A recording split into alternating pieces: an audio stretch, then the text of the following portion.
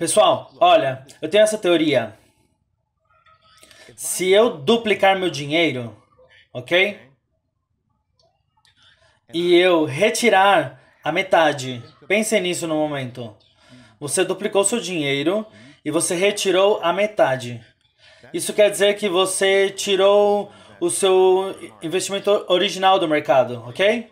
Então o que estamos jogando agora? Estamos jogando com o dinheiro da casa. Outra maneira de dizer isso, obviamente, é você está jogando com, com as suas com seus lucros. Você retirou o, o risco do trade. Bem, você tem zero risco de perder o seu capital original. Sim, você tem risco de perder o que você ganhou. Mas pensem nisso. Seu investimento pode ir até zero e nunca, na verdade, ter dever, te dever nada. E você não perdeu o seu dinheiro capital original. Se você se pôr nesse tipo de situação, ok? Você ganha um, muita confiança para operar o mercado como uma instituição, como Warren Buffett, como um profissional. Então, é tudo sobre gerenciamento de risco, ok? Quando algo duplica, eu vou retirar agressivamente uma boa porção do meu dinheiro. Agora, eu falei para vocês na última perna para cima, eu retirei 40%, não 50%. Mas vocês entendem, é o mesmo conceito. Eu não fiquei, não foi mais uma perna a mais e para fazer mais 10% é só, é só isso que faltava. Mas eu não sou um desses compradores vai dormir por 10 anos e espero que tudo esteja bonito e tranquilo quando eu acorde. Eu sou um, um player mais ativo, mesmo jogando no longo prazo. Então, se eu estou operando é, algo por 5, 10, 15 anos, depende, sabe? eu ainda vou fazer realizações de lucros ativas quando eu vejo que esse item já foi para frente do que ele podia fa fazer, que esse movimento para cima já não é mais sustentável. Então eu acredito que através desses movimentos eu posso fazer muito mais e performar o indivíduo que não não toma essas vantagens de momentos de realização de lucros em rallies até lá, lá em cima.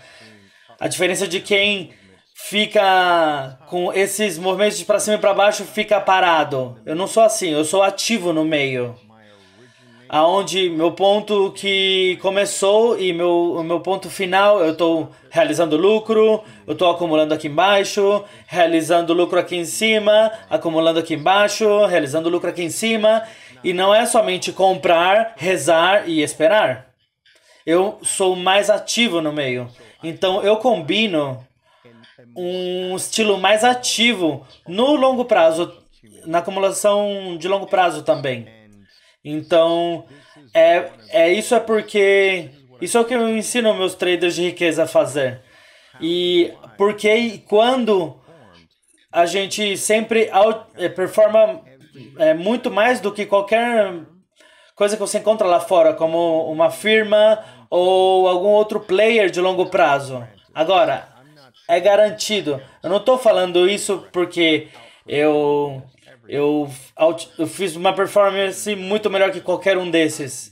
Não estou falando que eu sou melhor que eles. Vamos, vamos ver. Então, meu nível de capital não é nem próximo ao capital deles. Então, é muito difícil produzir, o, produzir os retorno, retornos no meu capital com 158 bilhões de dólares. Esse é o, o desafio que o Ray Dalio tem. Ele tem que gerenciar 158 bilhões de dólares. Então, para operar 20 milhões versus 158 bilhões, não tem comparação.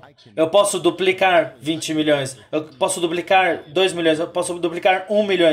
Muito mais fácil do que qualquer um possa duplicar 158 bilhões. Entendem?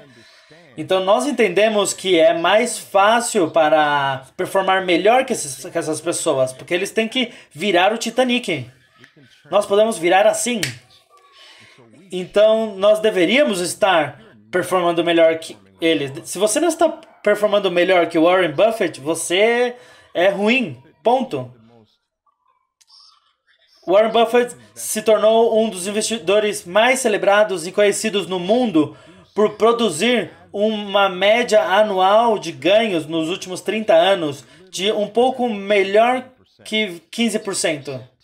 Eu fiz 15% semana passada, vocês entendem? Pensem nisso.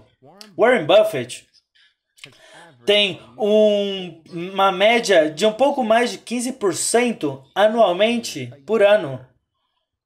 Por ano, nos últimos 30 anos, 40 anos. Essa é o, a média dele. Vai, vai, vai procurar. É louco. Ok?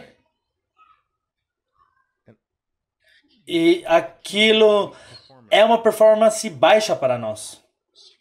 Então, mas eles têm dezenas de bilhões de dólares que estão lidando, com uns casos centenas de bilhões, e é muito mais difícil.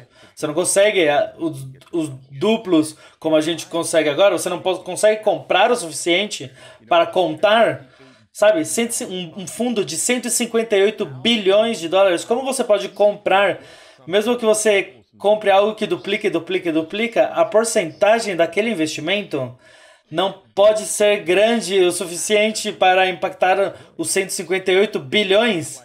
Então, não, não é que eles não, não têm os dobros. Eles, como você tem tudo para duplicar, isso é. E demora anos e anos e anos para duplicar isso. Para nós pode, pode demorar alguns meses, algum ano.